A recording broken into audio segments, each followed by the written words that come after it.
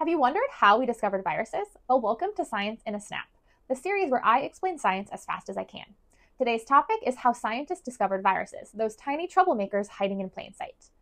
Back in the late 1800s, scientists knew about bacteria and that it caused certain diseases, thanks to pioneers like Robert Koch.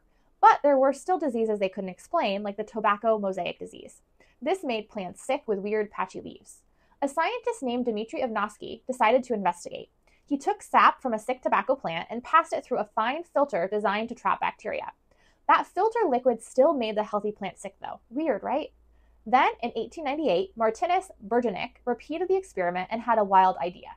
Whatever was causing the disease must be smaller than bacteria. He called it a contagious living fluid. This was the first clue that viruses existed, but nobody could actually see them yet. It wasn't until the 1930s when scientists invented the electron microscope that we finally got a look at viruses. And guess what? They weren't fluids, they were tiny particles made up of genetic material wrapped in a protein coat.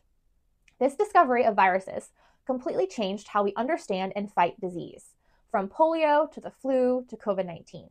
It's also why things like filters, hand washing, vaccines, etc., are key.